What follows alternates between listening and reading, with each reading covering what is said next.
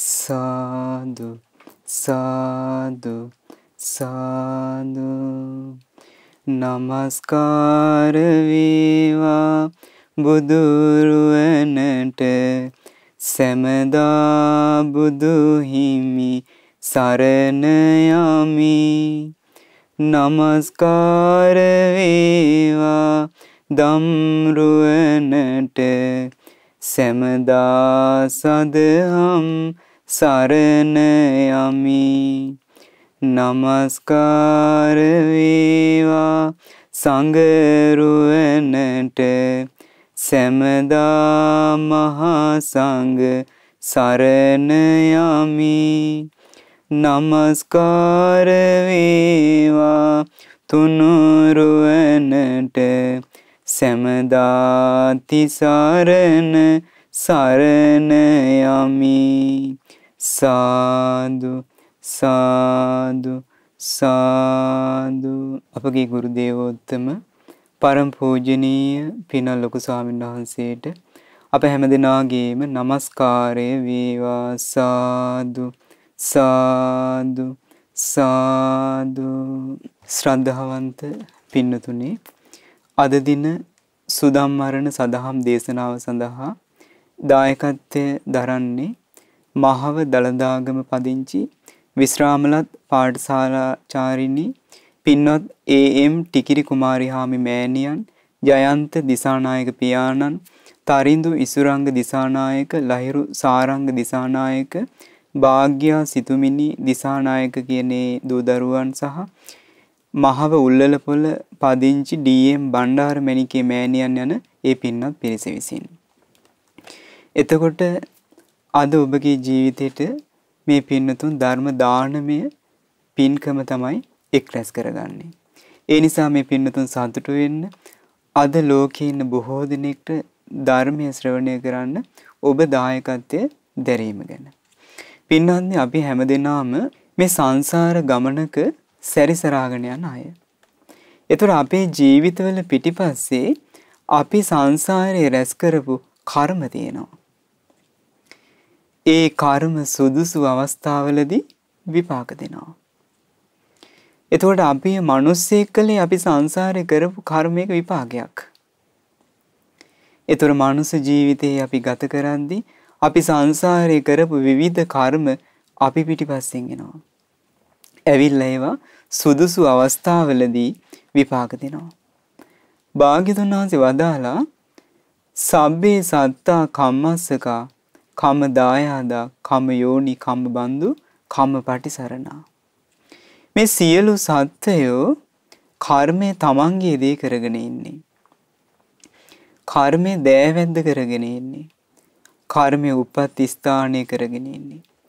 කර්මය ඥාතියා කරගෙන ඉන්නේ. කර්මය පිළිසරණ කරගෙන ඉන්නේ කියලා.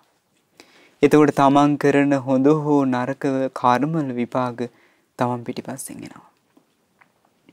එතකොට බලන්න පින්නන්නේ අපි මේ සංසාරෙද්දී යහපත් දේවල් විතරක් කර කර ආව නෙමෙයි. අපි අතින් සමහර වෙලාවට පාප කර්ම සිද්ධ වෙලා තියෙනවා. ඒතර යහපත් හොඳ කියන කර්මවල විපාක, ඒ කියන්නේ පිනක විපාකයක් සැපයක් උපද්දලා දෙනවා. නමුත් අයහපත් දෙයක් පවක් කළොත් ඒකේ විපාකයේ විදිහට අපිට දුකක් උපද්දලා දෙනවා. එතන හිතලා බලන්න අපි සංසාරේ කරපු පාප කර්මයක් තියෙනවා.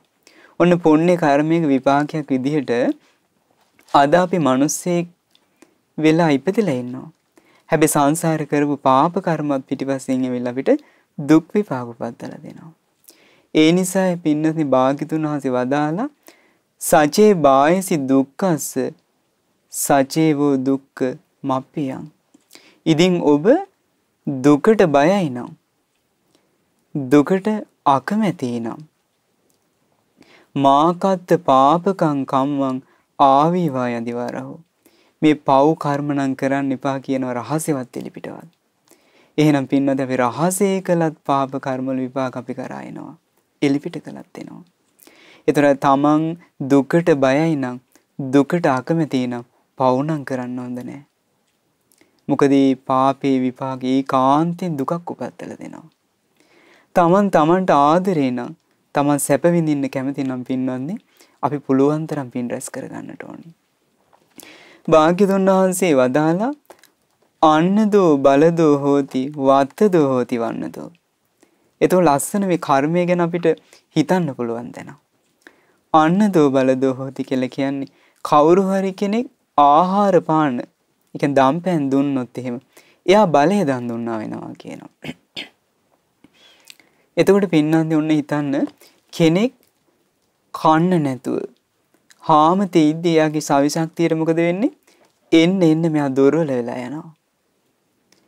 එහෙම දුර්වල වෙච්ච කෙනෙක්ට අපි කෑම ටිකක් දුන්නොත් මොකද වෙන්නේ? එයාගේ සවි ශක්තිය ආයෙත් ලැබෙනවා. එහෙනම් යමෙක් ආහාර දෙනවද එයා බලය දන් දුන්නා වෙනවා. ඒකේ විපාකයක් විදිහට සසරේ යද්දී යාට ශවි ශක්තිය ලැබෙනවා. එහෙනම් ආහාර දන් දීමේ විපාකයක් එයාට ශවි ශක්තිය බලය ලැබෙනවා. වත්තදෝ හෝති වන්නදෝ වස්ත්‍ර දුන්නොත් එහෙම හැඩරුව දුන්නා වෙනවා කියනවා. ඒතර පින්නන්දි බලන්න දැන් කොච්චර මේ රූපයෙන් ලස්සන කෙනෙක් වුණත් එයා ඇඳගෙන ඉන්නේ කිලුට වස්ත්‍රයක් නම් නැත්නම් හරියමං ඇඳුමක් එයාට නැත්නම් එයාගේ ලස්සනක් පේනේවිද? හැඩරුව පේනේවිද? එහෙම පේන්නේ නැහැ. නමුත් එයා ලස්සන වස්ත්‍රයක් අඳිද්දී එයාගේ හැඩරුව ඉස්මතු වෙලා පේනවා. එහෙනම් අපි කාට හරි හොඳ වස්ත්‍රයක් දුන්නොත් එහෙම එයාට ඒක හැඩරුව දුන්නා වෙනවා. ඒ කර්මයේ විපාකයක් විදිහට සංසාරේ යද්දී අපිට හැඩරුව ලැබෙනවා. හොඳ රූපයක් ලැබෙන්න ඒක උපකාර වෙනවා. යානදෝ සුඛදෝ හෝති දීපදෝ හෝති චක්කුදෝ. මේ යාන වාහන දෙනවා කියන්නේ සැපේ දන් දෙනවා කියනවා. ඒතර පින්නන්ද මේ පාවහන් පූජාව පවා අයිති වෙන්නේ යාන වාහන දෙන එකට. දැන් හිතන්න කෙනෙක් පාවහන් දෙකක් නැතුව කාර්කස පොළවේ ඇවිදිද්දියාට මහා පීඩාවක් උපදිනවා. දුකක් උපදිනවා. හැබැයි එයාට අපි පාවහන් දෙකක් දුන්නහම මොකද වෙන්නේ? එයාට සැපසේ යන්න පුළුවන්. තව කෙනෙක්ට සැපේ දන් දුන්නොත් ඒකේ විපාකයක් විදිහට අපි කරා සැපේ එනවා. දීපදෝ හෝති චක්කුදෝ ඒ කියන්නේ ඔන්න ආලෝකයේ දන් දුන්නොත් එයා ඇස් දන් දුන්නා වෙනවා කියනවා. දැන් පින්නොත් හිතලා බලන්න ඕන අපි අඳුරේ ඉන්නවා. අඳුරේ ඉද්දි අපිට රූප පේනවද? අපිට රූප පේන්නේ නැහැ.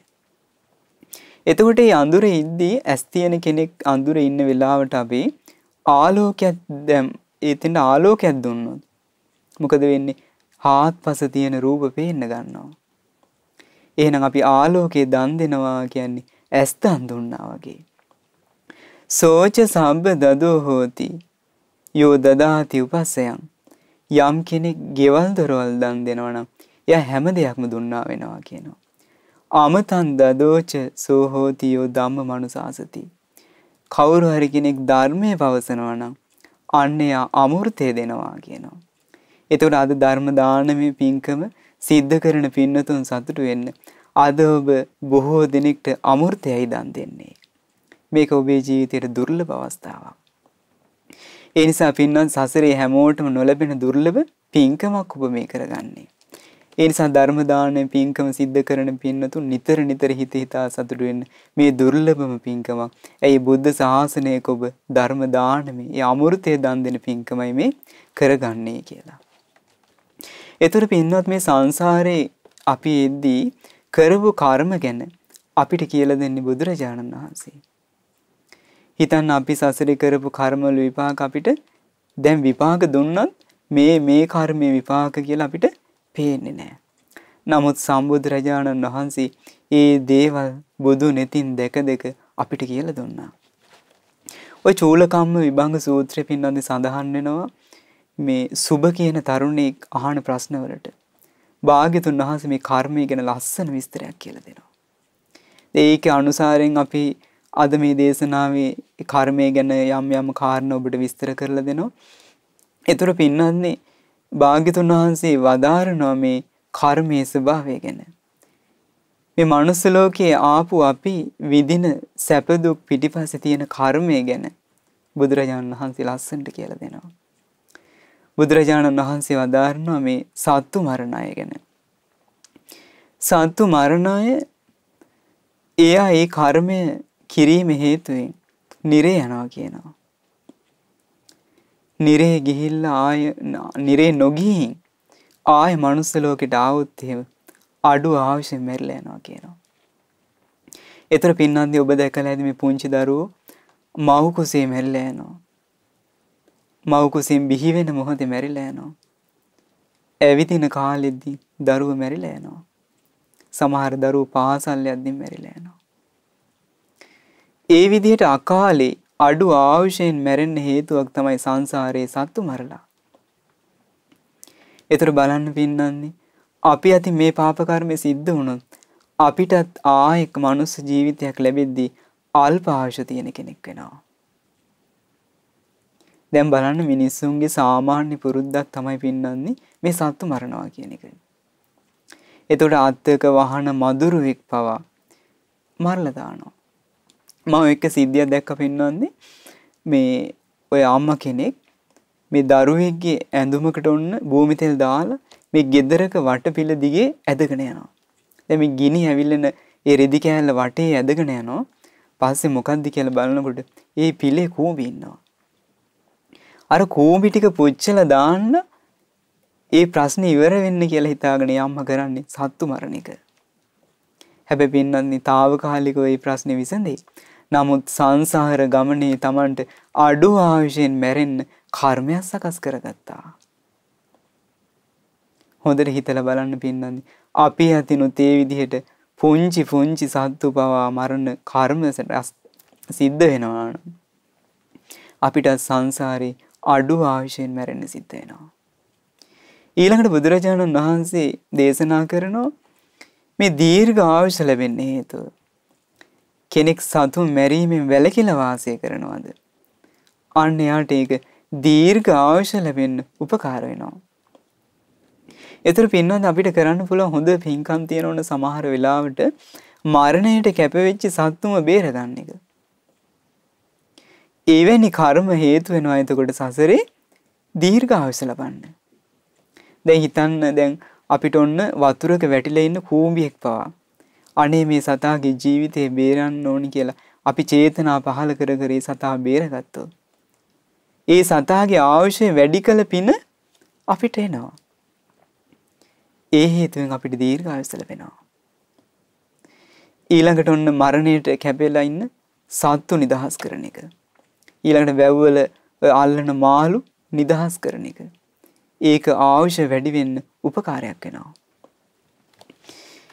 ඊළඟට පින්වන්නේ සමහර අය මනුස්ස ලෝකෙට ඇවිල්ලා එයාලට ගොඩාක් ලෙඩ රෝග තියෙනවා.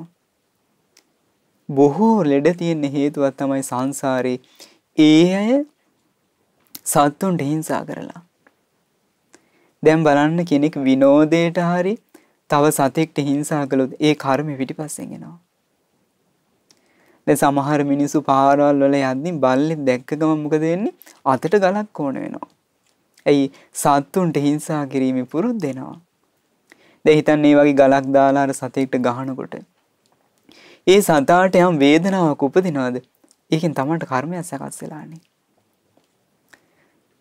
එතකොට ඔබ දැකලා ඇති පින්නත් මේ මනුස්ස ලෝකෙ ඉපදිච්ච සමහර අය විරූපී වෙලා ගිහිල්ලා අතපය හැඹරිලා ගිහිල්ලා ඊළඟට ඒ අයට බොහෝ රෝගාබාධ සංසාරේ සත්තුන්ට හිංසා කරලා එහෙනම් සත්තුන්ට හිංසා කිරීමේ විපාකයේ විදිහට යාට බොහෝ රෝග ඇති වෙනවා. ඊළඟට පින්නන්නේ අල්පාබාධ ඇතිවෙන්න හේතුවක් තමයි මේ සත්තුන්ට හිංසා කිරීමෙන් වළකින එක. කෙනෙක් සත්තුන්ට හිංසා කිරීමෙන් වැළකීම නිසා ඒ අය අල්ප ආබාධ උපදිනවා. ඔබ දැකලා ඇති සමහර අයට නිතර නිතර ලෙඩ හැදෙනවා.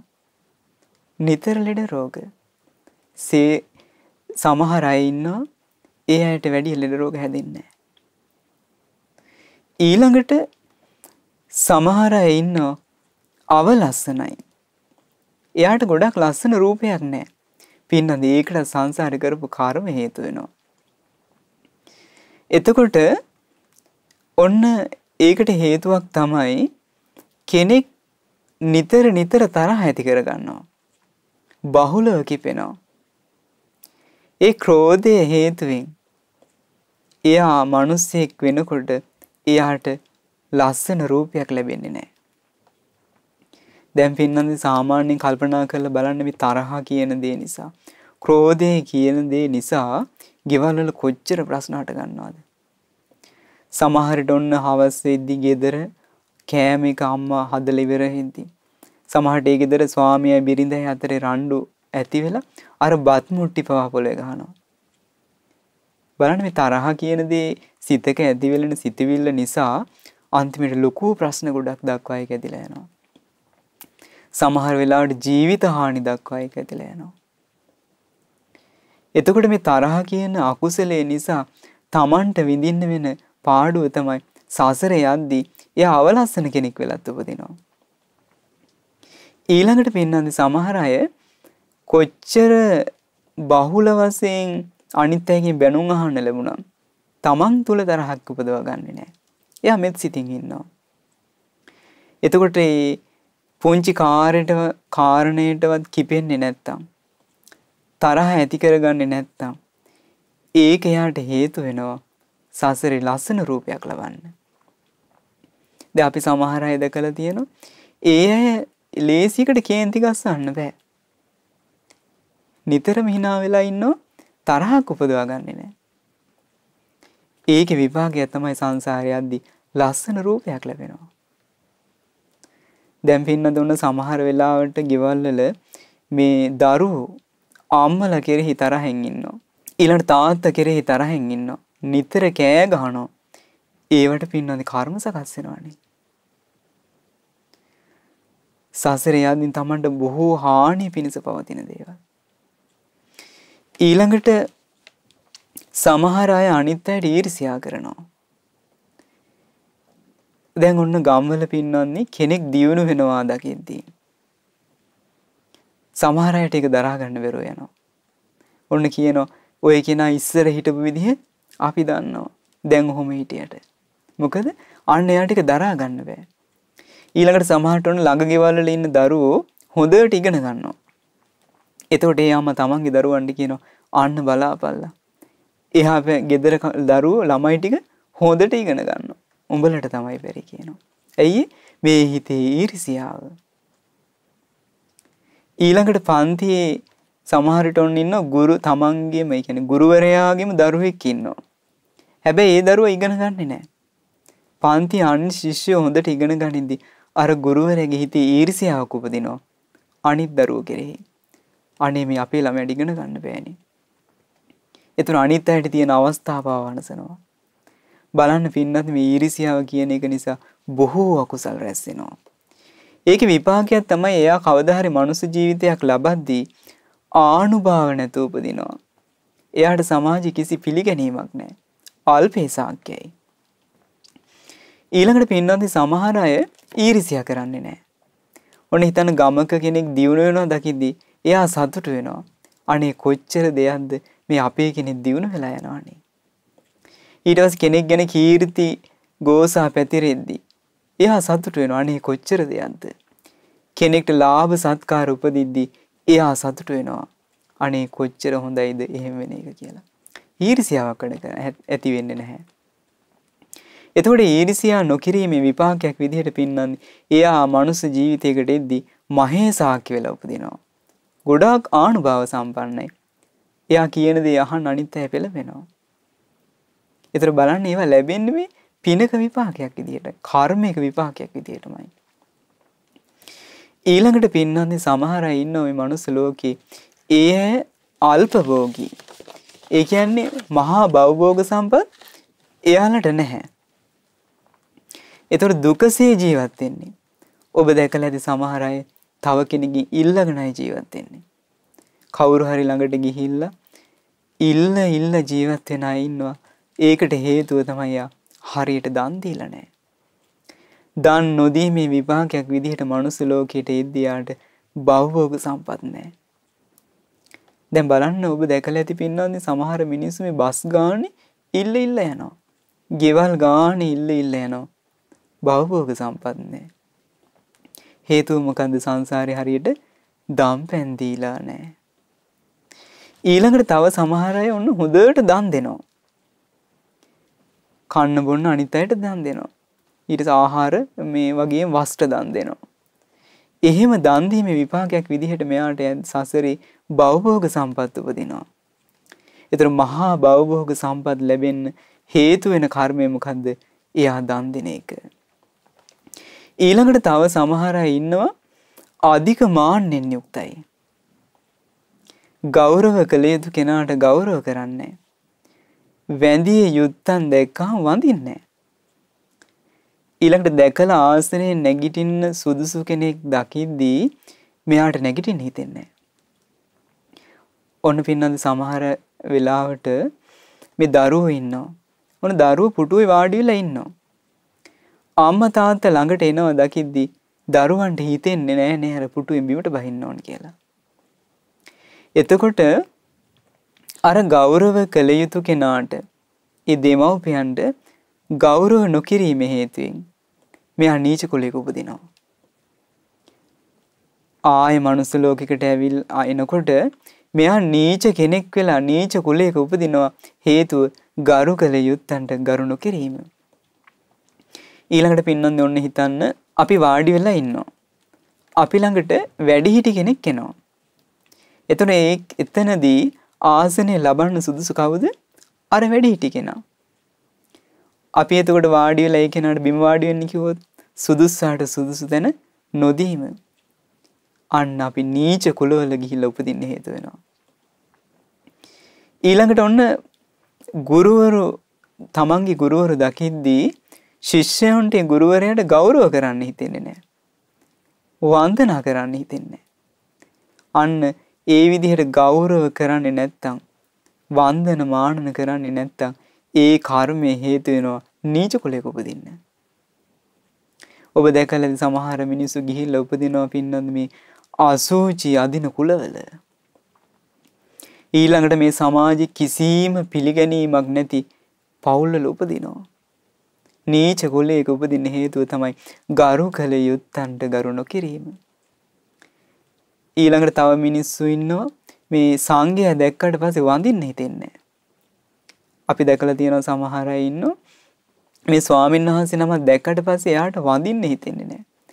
ඒතර බලන්නේ කර්මයේ විපාකේ ගෞරව කළ යුතු අයට වන්දන මානන පූජන කළ යුතු අයට ඒ විදිහට ගෞරව නොකිරීම හේතුවෙන් වන්දනා නොකිරීම හේතුවෙන් එයාට නීච කුලවල උපදින්න වෙනවා.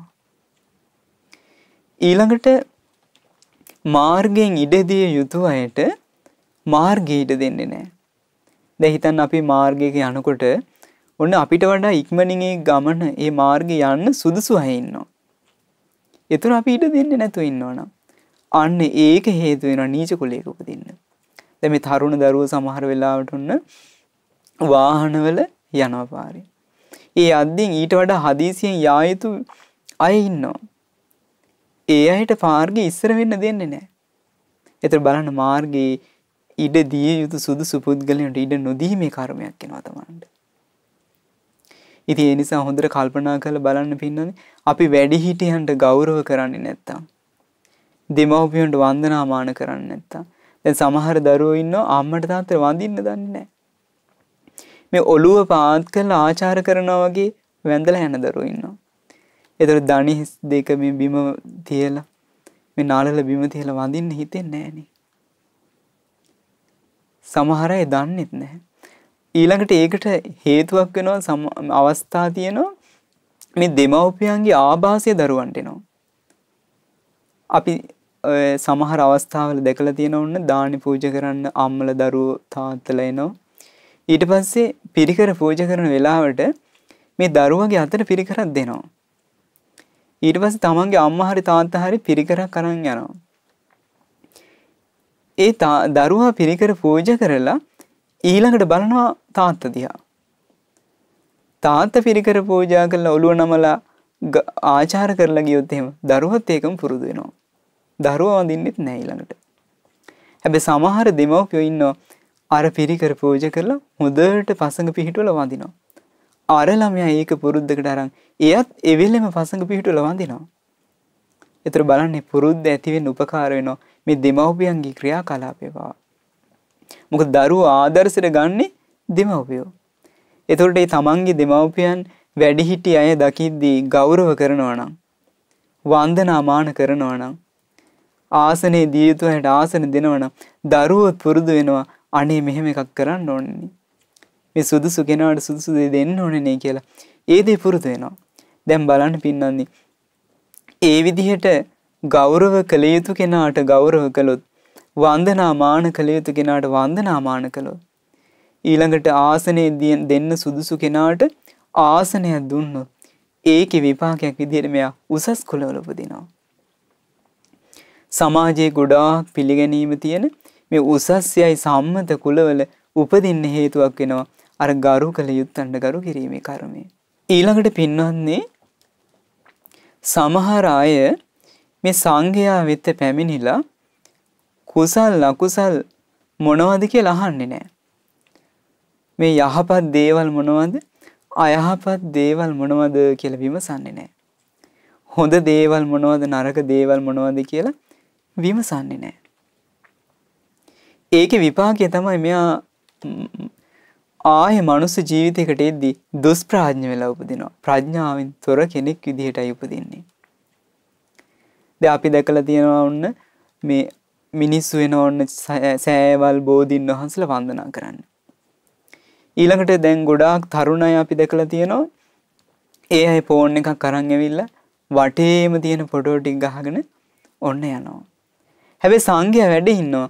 ඇවිල්ලා අහන්න හිතෙන්නේ නෑනේ ස්වාමීන් වහන්සේ මේ කාරණේ කොහොමද? අපි පින් රැස් කරගන්න මොනවද කරන්න ඕනේ? මේ කුසල් අකුසල් කියන්නේ මොනවද කියලා අහන්න හිතෙන්නේ නෑ. මේ සංඝයා වැඩ ඉන්න පුදබිමකට ඇවිල්ලා දැක්කත් නොදැක්කා වගේ යනවා. හැබැයි අර වගේ කුසල් අකුසල් ගැන අහන්න හිතෙන්නේ නැත්තම් ඒක යාට මහා පාඩුවක්. ඊළඟට පින්නොත් සමහර අය ඉන්නවා කුසල් අකුසල් ගැන මේ අහනවා විමසනවා. හොඳ දේවල් මොනවද නරක දේවල් මොනවද පින්පව් මොනවද මොනවා කළොත්ද මට යහපත පිණිස පවතින්නේ මොනවා කළොත්ද මට අයහපත පිණිස පවතින්නේ කියලා හොඳට විමසනවා. ඒ කර්මේ විපාකයක් විදිහට පින්නතුනේ එයා ප්‍රඥාවන්ත කෙනෙක් වෙලා උපදිනවා. ආය මනුස්ස ජීවිතයකට ඉදියා ගොඩා ප්‍රඥාවන්තයි. එතර අපි දක්ෂ වෙන්නට ඕනේ ඒ කුසල් අකුසල් ගැන විමසලා තේරුම් ගන්න. නැත්තම් ගොඩාක් වෙලාවට මිනිස්සුන්ට වෙන්නේ අපි ගොඩාක් දේවල් දන්නවනේ. ආය අහන්න දෙයක් නෑ වගේ හිතාගෙන ඉන්නවා අන්තිමයට වරදිනවා. ඊළඟට අපේ ජීවිතයේ ඒ විදිහේ කර්ම සකස් වෙනවා කියලා අපි හොඳට දැනගෙන ඉන්නට ඕනේ. මොකද අපි කතා කරන වචනයකින් පවා මේ චේතනා පහල කරලා යමක් කරනවද ඒකෙන් කර්මයක් සකස් වෙනවා. භාග්‍යතුන් වහන්සේ වදාළේ චේතනාහම් භික්කවේ කම්මං වදාමි. චේතයිත්වා කම්මං කරෝති කායන වාචාය මනස. මේ චේතනාව පහල කරලා කර්ම සකස් කරන්නේ. එතකොට පින්නතුනි අපි යහපත් දේවල් කළොත් යහපත් විපාක අපි කරා එනවා. අයහපත් දේවල් කළොත් අයහපත් විපාක එනවා. ඔය එක සිද්ධියක් වෙනවා අපේ බුදුරජාණන් වහන්සේගේ කාලේ ඒකේ ඉතිහාස කතාවක් තියෙනවා. ඒ තමයි අතීතයේ සුමේද කියන සම්මා සම්බුදුරජාණන් වහන්සේ වැඩ ඉන්න යුගයේ එක්තරා විද්‍යාදරයෙක් මන්ත්‍ර සිද්ධි කරලා ත්‍රිසූලයකුත් අතින් අරගෙන ඒ මන්ත්‍ර බලින් අහසේ යනවා. අහසේ යන මේ විද්‍යාදරයා දකිනවා එක්තරා වනාන්තරයකින් රැස් සිහිදෙනවා. පින්නන්ද සුමේද සම්මා සම්බුදුරජාණන් වහන්සේ එක්තරා රුක් මුලක වාස් වැඩ ඉන්නවා.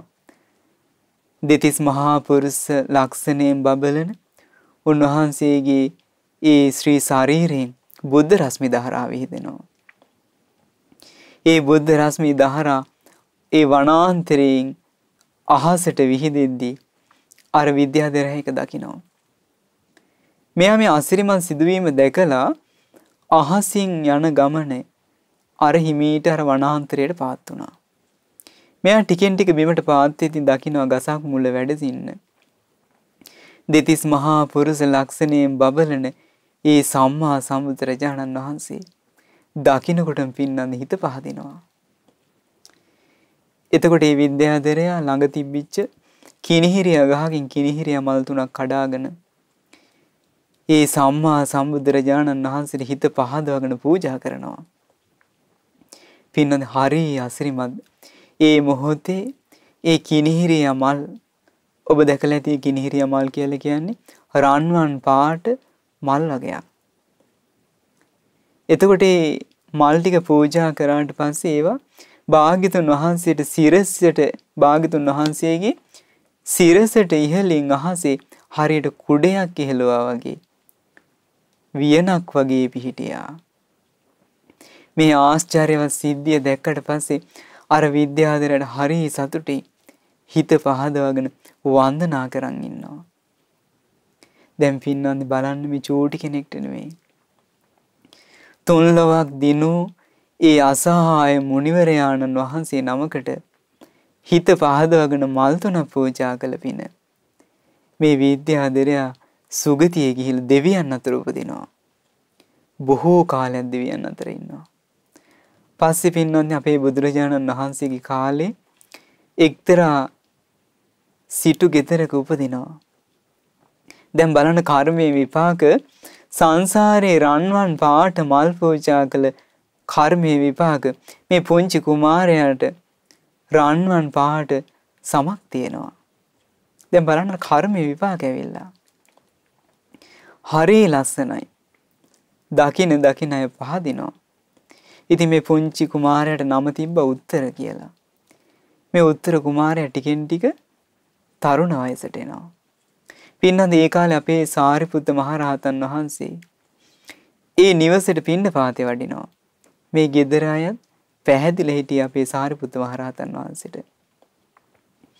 කාලයක් යද්දි මේ දරුවට මේ ගිහි ජීවිතයේ ආදීනව තේරිලා පැවිදි වෙන්න ඕනේ කියලා හිතක් ඉපදුනා.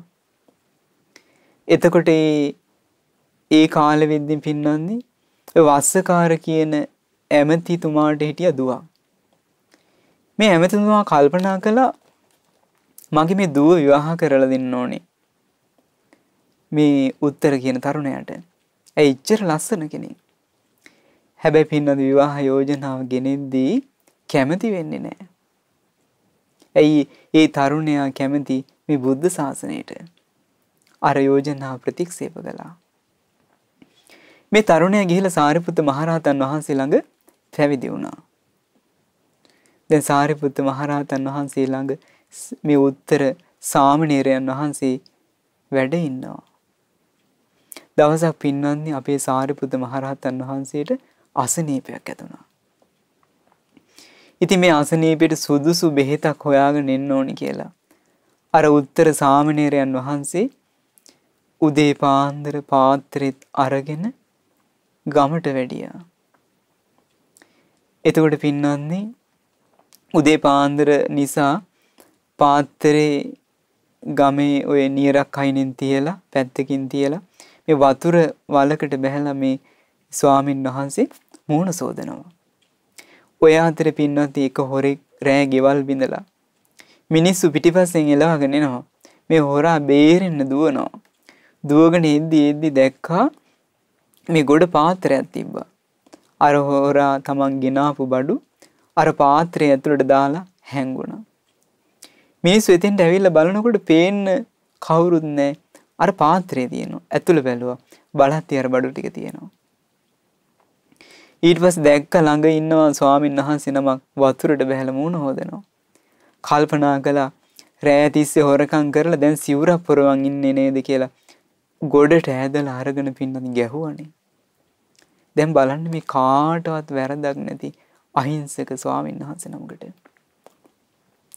ගහලා ගහලා රජ්ජුරුව ළඟට අරන් යනවා.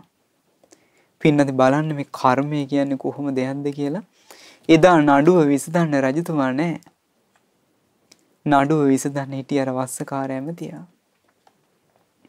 වස්සකාර ඇමතියා දකින්නකොට මඳුනගත්තා මේ අර උත්තර තරුණයා නේද? මගේ දුව එපා කියලා මේ පැවිදි වෙන්න ගිය කෙනා නේද මේ? කිව්වා අරන් ගිහලා උල තියන්න කිව්වා. ආයෙ නඩු විසඳන්න ගියේ නෑ. පින්නත් දැන් කිසි කෙනෙක්ට වරදක් නැති අර අහිංසක ස්වාමින් වහන්සේව එක්කන් ගිහිල්ලා කිහිරි උලක් උල් කරලා ඒ උලේ හින්දෙව්වා. පින්නනි දැන් මේ ශරීරේ ඇතුළට අර උල කඩාගෙන බහිනවා. ලේ ගලනවා. අර සිවුර ලේ වලින් තෙත් වෙනවා. මහා වේදනාවක් උපදිනවා. නමුත් අර ස්වාමීන් වහන්සේගේ හිතේ තරහක් උපදින්නේ නැහැ. මේ ඇමතියා බොරු විනිශ්චයක් කළේ මේ මිනිස්සු මාව බොරුවට ඇල්ලුවේ කියලා තරහෙන් හිටියේ නැහැ. ඒ ස්වාමීන් වහන්සේ කල්පනා කළා අනේ මගේ ගුරුවරයාට දැන් ඒ ලෙඩේට සුදුසු බෙහෙතක් හම්බුණාද දන්නේ දැන් බලන්න මේ හිතන සිතවිල්ල. දැන් පින්නන්නේ අර උල මේ ශරීරේ කඩාගෙන ඇතුළට කිඳා බහිනවා. මහා වේදනාවක් උපදිනවා. ඒ වෙලාව අපේ සාරිපුත්ත මහරහතන් වහන්සේ දිවසින් මේ සිදුවීම දැක්කා. දැකලා භාග්‍යතුන් වහන්සේව මුණ ගැහෙන්න ගිහිලා භාග්‍යතුන් වහන්සේට මේ සිද්ධිය කිව්වා. ඒ වෙලාවේ මහා කාරුණික වූ අපගේ ශාස්ත්‍රුන් වහන්සේ භික්ෂු සංඝයා පිරිවරාගෙන අර උත්තර සාමණේරයන් වහන්සේ උල තිබ්බ තැනට වඩිනවා. පින්නන්දි තෙන්ට වැඩලා අපගේ භාග්‍යතුන් වහන්සේ අර උත්තර සාමණේරයන් වහන්සේගේ හිසේ හිස අත ගෑවා. භාග්‍යතුන් වහන්සේගේ ශ්‍රී හස්තේ ඒ උත්තර සාමණේරයන් වහන්සේගේ හිස මත තියෙද්දි මහා සිසිලසක් අටගත්තා. සැපයක් ඉපදුනා. භාග්‍යතුන් වහන්සේ දේශනා කරන පුතේ උත්තර මේක තමයි සංසාරේ ස්වභාවය. භාග්‍යතුන් වහන්සේ මේ විදිහට කියලා ධර්මය කියලා දුන්නා.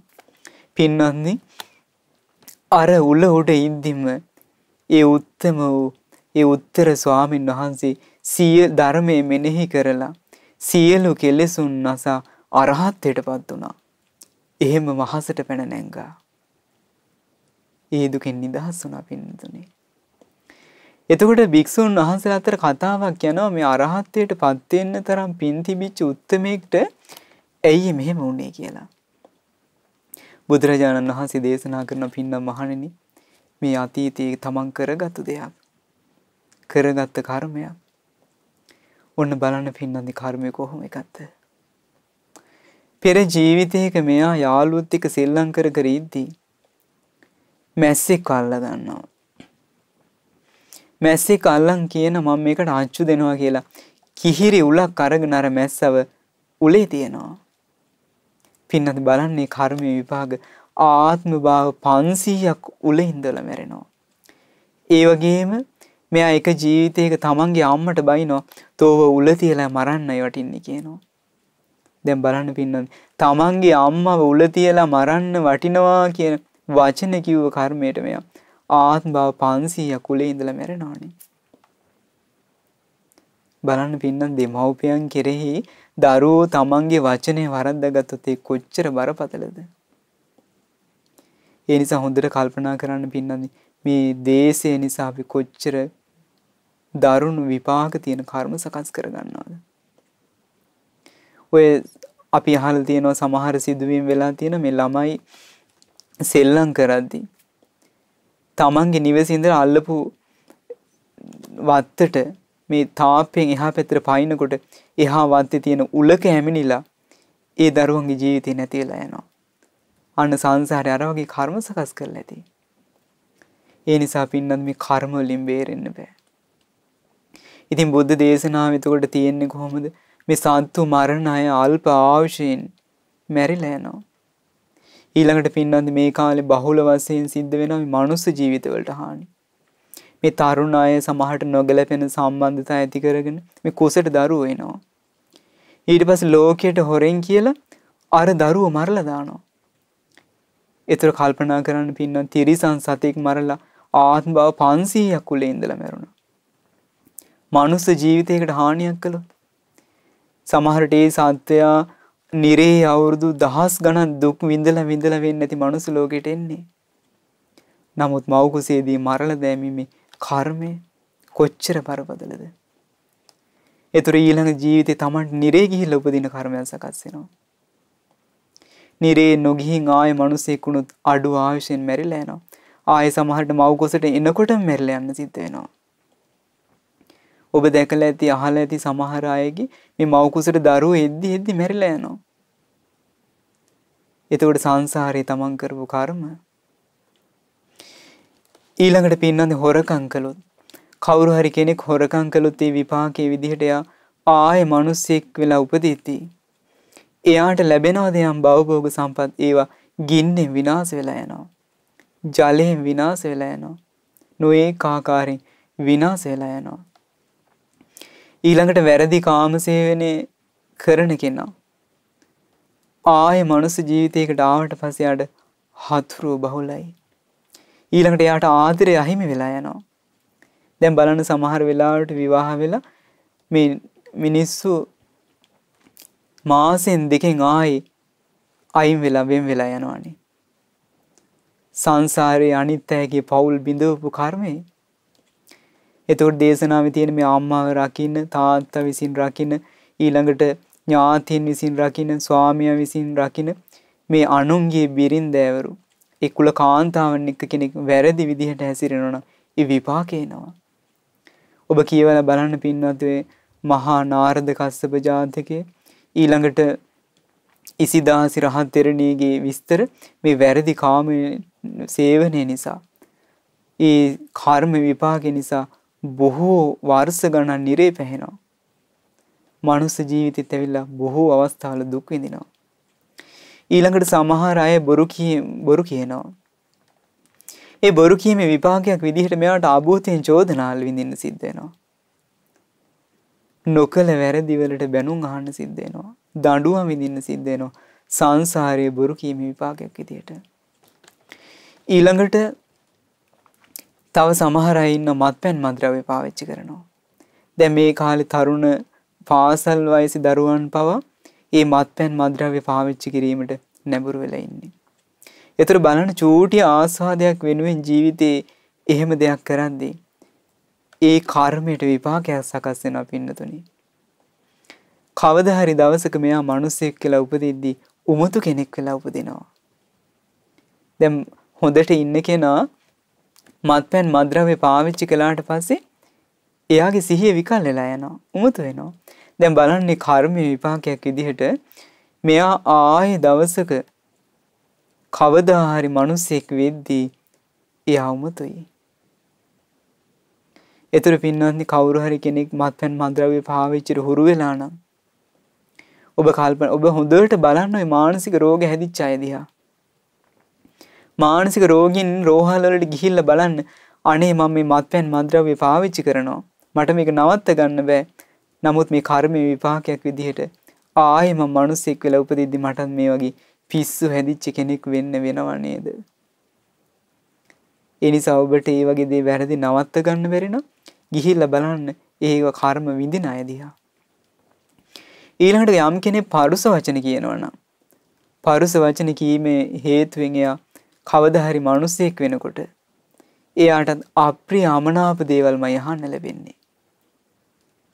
දැන් පින්වත්නි උන්න රැකියා ස්ථානයට ගියාට පස්සේ සමහර අයට නිතර නිතර බැනුම් අහන්න සිද්ධ වෙනවා.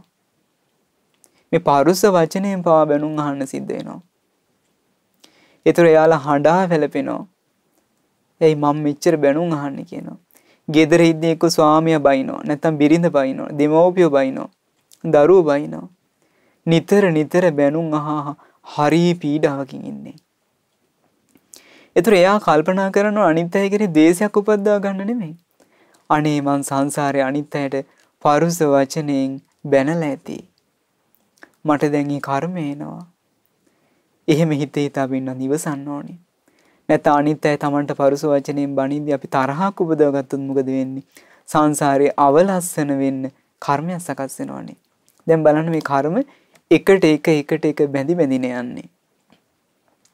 දැන් බලන්න අර උත්තර කියන තරුණයා පෙර ජීවිතේ අම්මට බැන්න මැස්සෙක් උල තිබ්බා. ඒ කර්මයේ විපාක විදිහට මෙයා මේ ජීවිතේ උල තියෙනවා. ඊළඟට බලන්න පින්නන්නේ නොකල වැරැද්දකට කෙනෙක්ව උල තිබීමේ කර්මය අර පිරිසට එනවනේ. අර ඇමතිවරුන්ට එනවනේ. ඒතර අපි කර්ම විපාකයක් විඳිද්දි තවත් ඇය ඒකට පැටලි පැටලි යනවා. අපි මේ කවුරු හරි කෙනෙක්ව ගින්නෙන් පුච්චලා මරලා තිබුණොත් ඒ කර්මයේ විපාකයක් විදිහට අපිට ගින්නෙන් පිච්චිලා මැරෙන්න සිද්ධ වෙනවා. තව සත්‍යෙක්ව හරි ගින්නට පුච්චලා තිබ්බොත් ඒ කර්ම එනවා.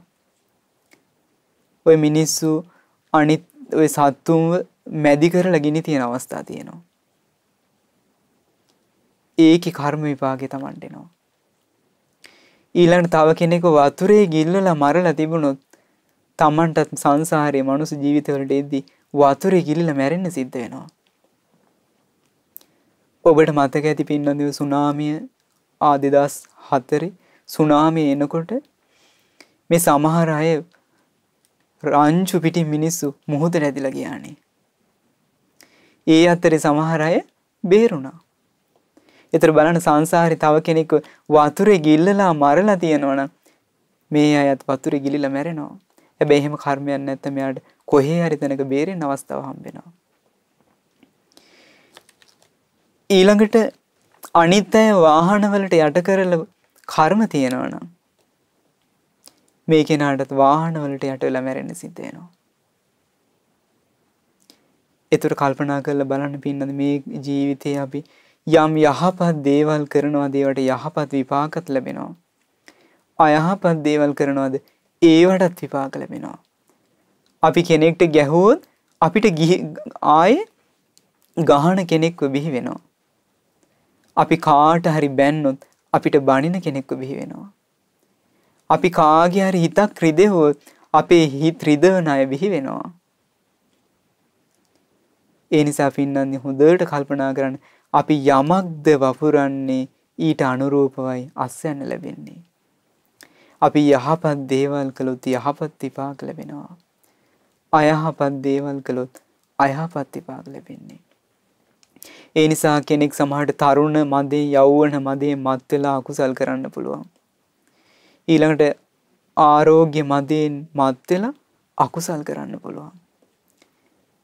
ඊළඟ ජීවිත මදයෙන් මත් වෙලා අකුසල් කරන්න පුළුවන්. ඒ අකුසල් වල විපාකෙ පින්නන්නේ අපි කරා ඇතිලා එනවා. ඉතින් ඒ නිසා හොඳට ඔබ තමන්ගේ ජීවිතය ගැන කල්පනා කරන්න. මේ මනුස්ස ජීවිතයේ ගත කරද්දී අපි මොන මොන වගේ දේවල්ද කරන්නේ? අපි යහපත් දේවල් කරනවද? අයහපත් දේවල් කරනවද? ඒකයි මං කිව්වේ තමන් කරන දේවල්ට අනුරූප විපාක හම්බ වෙනවා කියන එක නිතර නිතර සිහි කරන්න. අපි කාට හරි උදව් කළොත් අපිට උදව් කරන අය ඉන්නවා. කර්ම විපාකයක්. හිතන්න ඔන්න අපිට ඇඳුම් ඕන වෙලා. ඕන කවුරු හරි මෙහෙම වෙන්න පුළුවන්. දැන් අපෙන් කවුරු හරි ඇඳුම් ඉල්ලන් එනවා. අපි එයාට පරණ ඇඳුමක් දෙනවා. ඒ කර්ම විපාකෙ පින්නන්නේ කවදා හරි දවසක අපිට ඇඳුම් හම්බ වුණොත් කාගෙන් හරි ලැබෙන්නේ පරණ ඒවා. අපි අලුත් දෙයක් දුන්නොත් අලුත් ඒවා ලැබෙනවා. අපේ අති මේ ජීවිතේ වෙච්ච සමහරට කර්ම තියෙන්න පුළුවන්.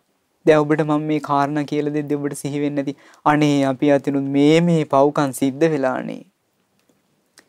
අපිටත් මේ වගේ විපාක විඳින්න වෙනවා නේද කියලා ඔන්න පසුතැවීමක් එන්න පුළුවන්. පින්නත් මේ පසුතැවෙනවා කියන එක ධර්මයේ නෙමෙයි. අපි කරන්නට ඕනි. මේ පසුතැවීම දුරු කරගන්න. පසුතැවී මේ ධර්ම මාර්ගය පුරුදු කරන කෙනා පසුතැවීමෙන් ඉන්න හොඳ නෑ. එතකොට යම් යම් වැරදි අපේ ජීවිතේ වෙලා නම් අඩුපාඩු සිද්ධ වෙලා නම් අපි පසුතැවෙන එක නෙමෙයි කරන්නට ඕනි. අපි ධර්මයේ අප්‍රමාදීව හැසිරෙන්නට ඕනි. දැන් බලන්න අඟුලිමාල ස්වාමීන් වහන්සේගේ ගිහි ජීවිතේ මිනිසු 1000කට ආසන්න පිරිසක් මැරුවා. නමුත් උන්වහන්සේ පැවිදුණාට පස්සේ ඒ ගැන හිත හිතා පසුතැවෙන්නේ නැහනේ. දැන් බලන්න මිනිස්සු 1000ක් මරපු කෙනා නිරේ ගිහිල්ලා උපදින්න ඕනේ. නමුත් පින්නත් මේ ධර්මයට පුළුවන් වුණානේ ඒ කෙනාව අරහත්ත්වයට අරන් යන්න. නිවන කරා අරන් යන්න. එහෙනම් ඔබ අතින් ඒ සමහරට ඒච්චර පව සිද්ධ වෙලා නැහැ පින්නත් දහසක් මිනිස්සු මැරපු ඒ අඟුලිමාල කියන කෙනා පැවිදි වෙලා අරහත්ත්වයට පත් වුණ යංගුලිමාල මහා මුනිවරයන් වහන්සේ. ප්‍රශ්න සියල්ලම විසඳලා ගියා. ඉතින් ඒ වගේ උත්තම රහතන් වහන්සේලා ඔබ සිහි කර කර පින්නන්නේ වැරදි වලින් අත් මිදෙන්න. එතකොට කාට හරි තමන්ගේ හිතේ වද දෙන ප්‍රශ්න තියෙනවනම් යම් වැරැද්දක් වෙනවනම් අකුසලයක් වෙනවා ඒක නවත්ත ගන්න බැරි නම් පින්නදුනි. ඔය බෝවත්තේ අඟුලිමාල මහසෑය තියෙනවා. අඟුලිමාල මහරහතන් වහන්සේගේ දහසක් ධාතුන් වහන්සේලා ගර්භයේ වැඩ සිටින ඒ උත්තම මහා සෑය වැඳලා ඒ වරදින් නිදහස් වෙච්ච වරදින් නැගී හිටියේ ඒ මහා මුනිවරයාණන්ට ජීවිතේ පූජා කරලා ඒ උත්තම සෑයට ජීවිතේ පූජා කළා අනේ මටත් මේ වරදින් නිදහස් වෙන්න ලැබේවා කියලා ඔබ ඒ සෑය ආශිර්වාද ලබා ගන්න. ඔබට ජීවිතේ වෙනස් කරගන්න ලැබේවි. ඒ නිසා පින්නත් මේ බණපද ඇහෙද්දී ඔබ පසුතැවෙන්න නෙමෙයි ඕනේ. වෙච්ච වැරදි ගැන හිත හිත දුක් වෙන්න නෙමෙයි ඕනේ. අද ඉඳලා මේ බණපද ඇහෙද්දී හරි පින්නනි මෙච්චර දවසක් වෙච්ච වැරදි තියෙනවා නම් ඒවා නවත්ත ගන්න. හිතන්න ඔබට බොහෝ තරහ යන කෙනෙක් නම් කල්පනා කරන්න මේ තරහ හේතුවෙන් මට සංසාරේ විරූපී කෙනෙක් වෙලා උපදින්න වෙනවා. ඒ හින්දා මං අද ඉඳලා තරහ ගන්නෙ නෑ. අනිත් අය මට කොච්චර බැන්නත් මම ක්‍රෝධයක් ඇති කරගන්නේ නෑ කියලා ඔබ අද ඉඳලා කල්පනා කරන්න. මේ බණපද ඇහෙද්දී ඉඳලා ජීවිතය වෙනස් කරගන්න පින්නන්නේ.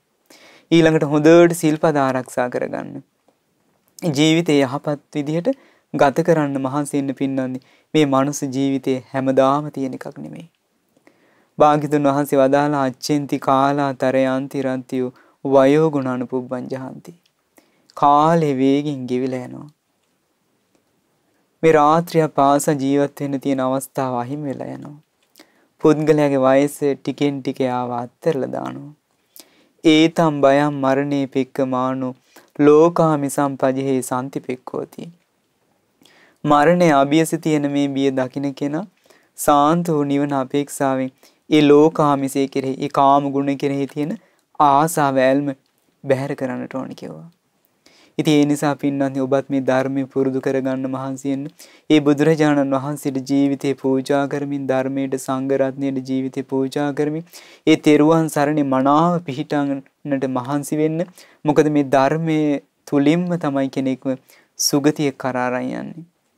නිවන කරා යන්නේ. මේ දුකින් නිදහස් කරන්නේ. ඉතින් ඒ නිසා අප හැම දිනාටම මේ උතුම් ධර්මයේ ජීවිතයට පුරුදු කරගනිමින් ඒ තිසරණේ මනාකොට පිහිටන්නට වාසනාව උදා වේවා. සාදු සාදු සාදු.